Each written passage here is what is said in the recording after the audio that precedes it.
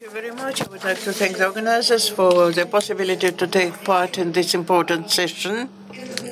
This will be my first official presentation as a researcher of Coloproctology Institute radiotherapist. There will be no intrigue. Clinical example is quite simple, but uh, we have uh, will have something to discuss. The patient of 43 years, diagnosis the first complaints appeared in March 2017. Classical complaints uh, for pains uh, in the uh, uh, pain and uh, blood in fecus uh, without other pathology per rectum. On the left semi there is a, tumoral formation. Colonoscopy above the serrate line in the left circumference. There is a a Uh, uh, uh, lesion uh, with a bleeding uh, biopsy. No other pathology was recorded in colonoscopy. Uh, histological show low differentiated adenocarcinoma. Of course, the patient had MRI of small pelvis organs, which confirmed the tumor in the lower ampullary section of the rectum for 46 millimeters. It covers the muscle layer without intergrowth into the wall of the gut MRI stage, T2 uh, lymph nodes in mesorectum and extramesorectum are not visualized, so that is a clinical uh, image of MRT with a T2 uh, tumor. In, in the course of further uh, examination, CT of thoracic uh, and abdominal cavity without metastasis, Uh, uh, uh, cancer of low ampullary section of rectum, T2 and OMO the clinical situation seems rather simple. And my first question to the audience, to the surgeons, uh, surgical treatment? No. Why? Probably we'll ask not only the patients but our lecturers. Please uh, you have to address the question to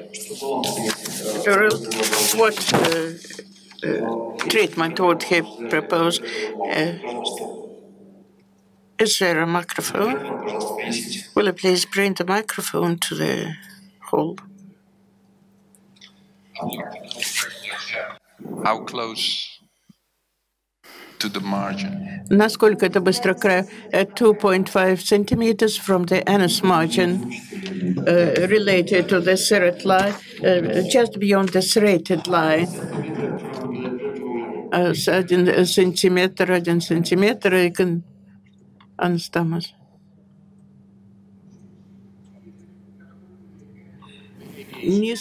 No anastomosis. Very low.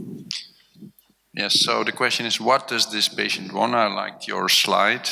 Um, some patients say, I don't want a stoma, never ever. Then this patient will end up going for chemoradiation and try to avoid a stoma. But going straight for surgery is if he's like a farmer and doesn't want anything, any trouble and wants to quick to work again, just a straightforward amputation might be okay too.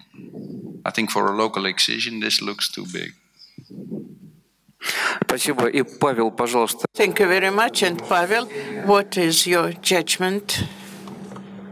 The same. So if the patients accept the radical strategy, uh, then then then then then to go for amputation, and if the patients want to to have a problems with has a problems with it, then watch and wait strategy, so trying with neoadjuvant and seeing the response.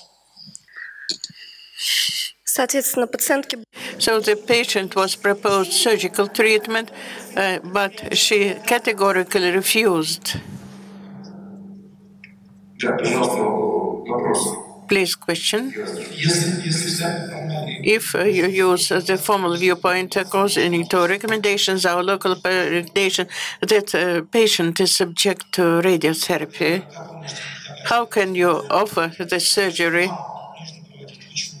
uh, you have to conduct radiotherapy, then reassess, and then solve the question about surgery. These are clinical recommendations. That is not the case. In clinical recommendations, the question of early cancer is described in a dual way. So she didn't finish the sentence. I'm one of the co-authors of clinical recommendations, so I remember T2 low ampullary uh, cancer uh, indications of pre-surgical therapy. That's uh, what we have done. Very interesting recommendations of the National Institute of the UK concern pre-surgical radiotherapy using additional brachy boost uh, with X-ray radiation, which describe clearly that the patients who cannot uh, be subject to surgery have to be subject to radical course with subsequent brachytherapy of the patients to whom surgical treatment is indicated, but if they refuse from it. I tried uh, to record the video. Unfortunately, we cannot uh, show it directly from the system, but I hope it will be clear. These are the stages of radiotherapy, that is fusion MRI with CT, so we would know where the primary tumor is located that is not practically seen on CT, particularly in the low ampulous section. There is a combination of the structures, uh, contouring of the clinical volume of the primary tumor. Quite often we're doing it together with MRI uh, diagnostics. Then there is a contouring of the main clinical volume of regional zone. I would like to demonstrate that video at the last Congress with Alexei Mikhailovich. We had a debate whether radiotherapist knows where he hits, but it seems to me that yes, there is a certain confidence that we know that radiotherapy impacts directly on the target volume. One minute. It is planned for this volume to have 46 uh, gray for regional lymph nodes. We check the main thing for contouring CT, but we always check based on MRI, particularly mesorectal area and uh, distances from the tumor.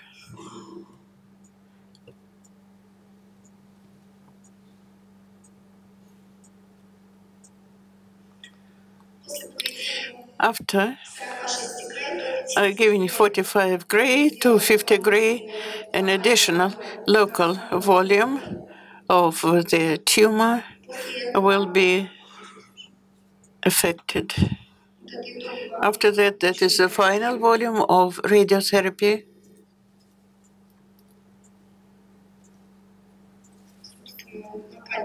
Local volume, uh, locally to the tumor.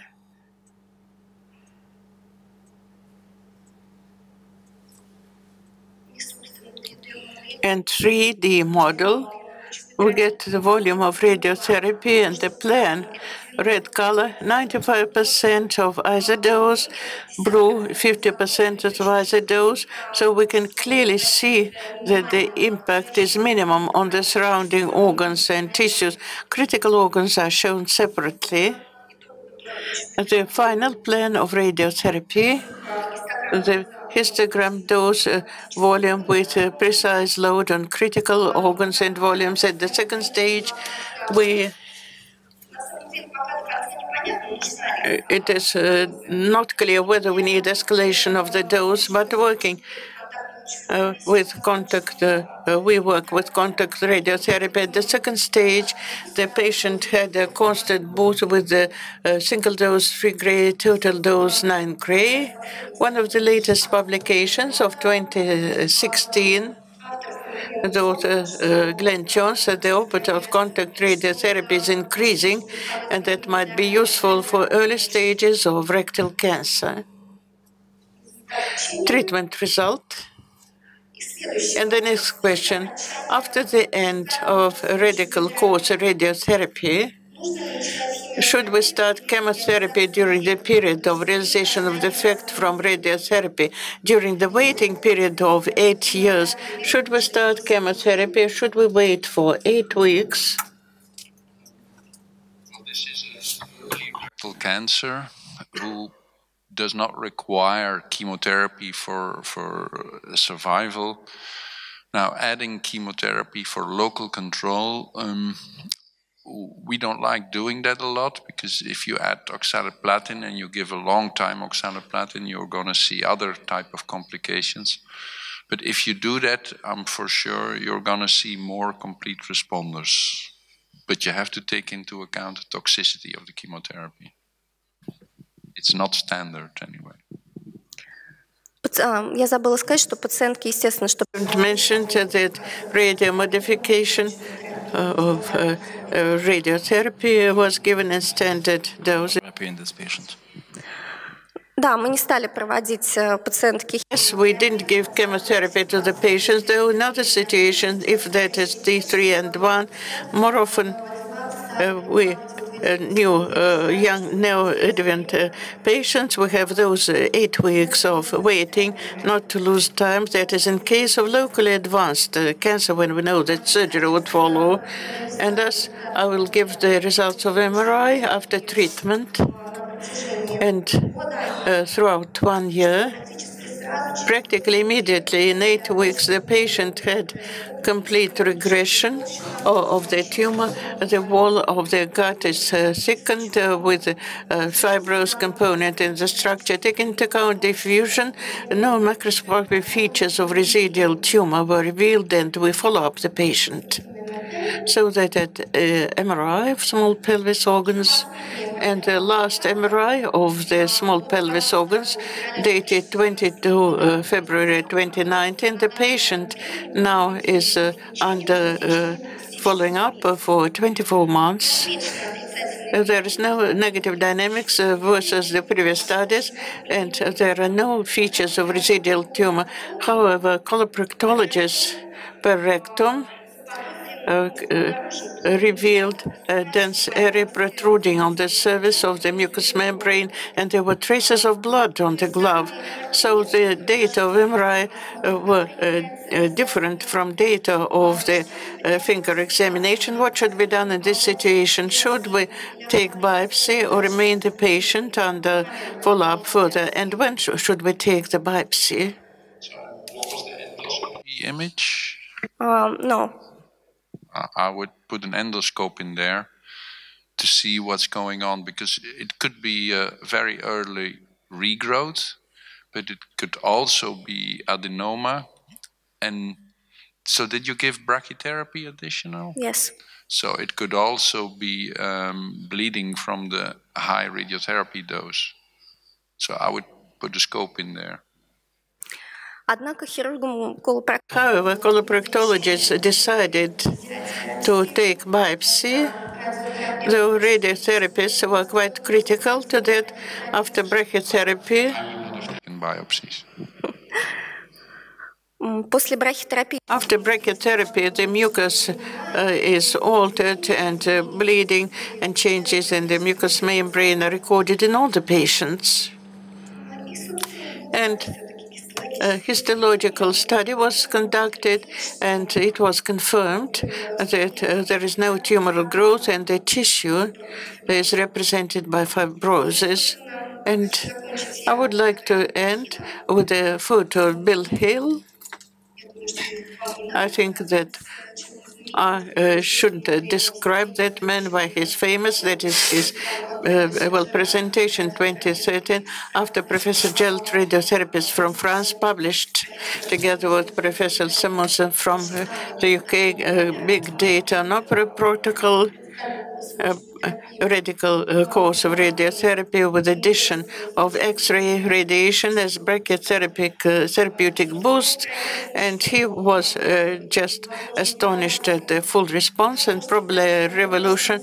I think that revolution has come, and we can afford to follow up the patients. However, that should be done only in large centers. That should be done where we have complete interaction between MRI diagnosed radiotherapist and surgeon so that the full clinical response would be assessed with 100% precision because for rectal cancer, surgical treatment remains uh, the most important method, and wait, uh, uh, and wait tactics is an exception. According to our data with Coloproctology Institute, we have 70%, 17% of full response. I don't think that we'll have high figures if we don't find the predictors of our responses to radiotherapy. So, uh, well, I think we have to carefully circulate that method with uh, great care. Thank you. And now we have a possibility of starting the discussion. Who would like to take part in the discussion? Please, a question, Sergey. I would like to ask the question, and I would like to receive your answer, Igor Anatolyevich, as an organizer of healthcare.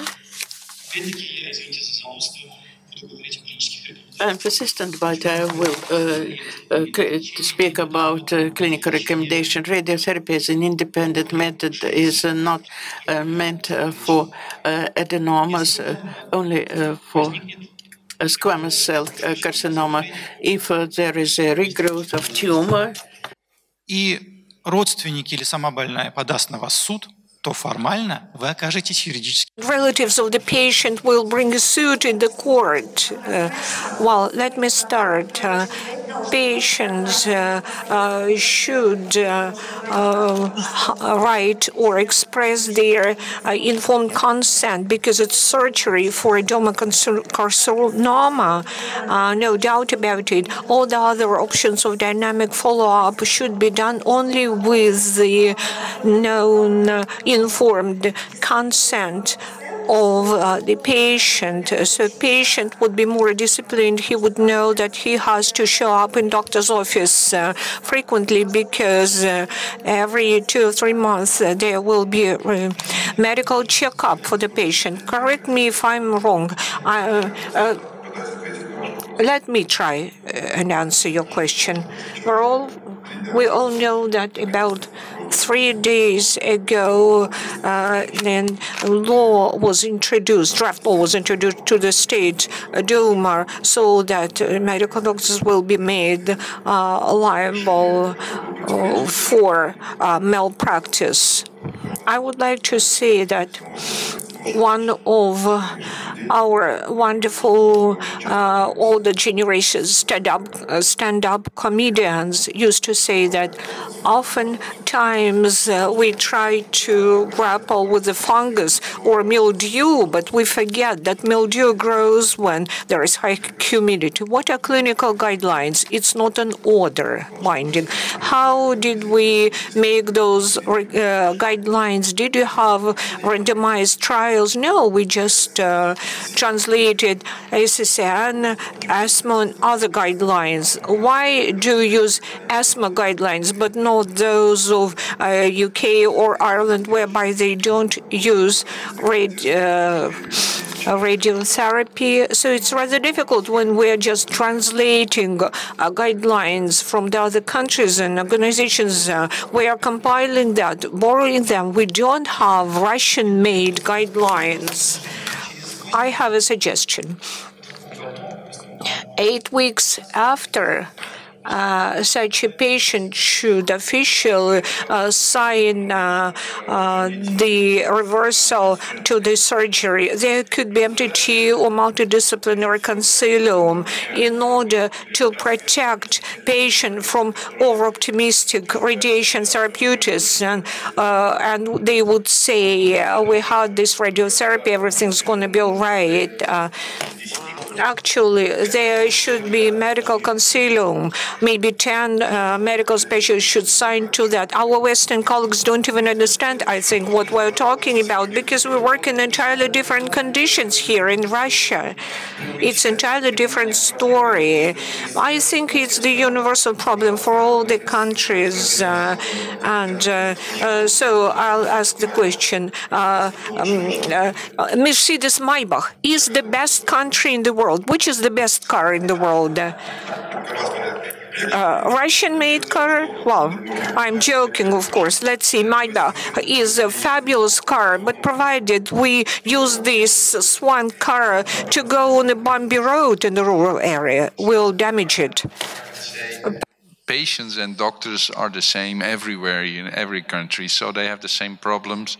So just on the note of getting sued, there was there was a lawsuit in the UK where a patient was operated, he got complications, there was no tumor there, and he's suing his doctor because the doctor didn't tell him that watch and wait was an option. So it, it works both ways. So the, the, the key thing is you have to talk to your patient and, and involve the patient in the decision. In our country, there's no patient signing I take the risk of watch and wait. There's no patient signing, I take the risk of surgery. You discuss the options with the patient, the patient chooses, you document it well, and there's not going to be a problem. So, and but the thing is, the decision not to operate is not taken by the radiologist or the the MDT. The group is is looking at the images and giving options and then it's the surgeon who talks with the patient and it's the patient who decides. That's how it should be, I think. У нас э, в институте мы что делаем? Э, what do we do at our uh, site? Uh, we discuss it. If a patient comes along uh, with a lower upper um, uh, region tumor, I, I am talking about early uh, uh, cancer, we can only do the extirpation of the rectum. We won't be able to preserve the rectum or the anus, or we may say we'll try to avoid the surgery or postpone it. That's what we can tell the patient. But we tell him that in this way he hardly has alternative. But when we see clinical regress, when we do imaging, when we get the results of MRI, that's another thing. We had one patient uh, with uh, locally disseminated cancer of rectum, and there was regress uh, as to the visualization, but the patient was very insistent. Uh, we did the extirpation of the rectum. In histology, we saw full regress, and half a year later, it was the local relapse. I don't know how to explain it, but neither method can give us a 100% proof and evidence. Yes, there are different implications, different aspects here. Uh, actually, we read the article published in January this year. Uh, uh, you know, and they provide uh, different retrospective analysis, uh, great experience. There were two groups of patients uh, with full clinic, complete clinical response and there were 116 patients in a group uh, in the watch and wait uh, tactic. Uh, but other patients uh, insisted uh, for extirpation or any other surgery of excision and even from the pathomorphological standpoint, uh, everything confirmed that uh, the tumor disappeared fully. So watch and wait is not always very good because in 22 patients, they had uh, the regrowth of the tumor and then different surgeries, interventions were made on them. But bottom line, in this group of patients with a relapse of disease, 30% demonstrated distant metastasis metastases. Uh, so it's not altogether simple. Watch and wait is not uh, the only good uh, tactic. I would not over-exaggerate the fears of the patients. Now the patient signs informed consent. It's a good legal tool. Now we introduced into the standards things we didn't have before. It's a multidisciplinary team or multidisciplinary concilium, like we see, Those specialists in consensus make a decision. This protects our decisions, I mean, of the medical doctor's team. And most important thing is that all the same patient is also participating in all those discussions of this team. Uh, there could be some collisions and conflicts, but you should not be fearful of that. Moreover, you shouldn't think that in other countries, in Western world countries, such conflicts don't evolve. They do. It's normal, and they always will. Another thing is that in our country, it's all about criminal code. Uh, that is relationships between uh, a medical doctor and patient, and when complications evolve, uh, let's say uh, anastomosis inconsistency. From my perspective, it's not malpractice; it's uh, inconsistent actually, but legally, it's described as a um, malpractice. Uh, hence criminal liability according to our criminal code. So we should protect ourselves by such concealings, uh, and uh, patient should sign informed consent. And so actually there are broad discussions going back and forth in the society and the state Duma. So those relationships should uh, actually uh, shift uh, from criminal code to civil code, like it's the case in many of the world. I think reason will override and everything's going to be all right.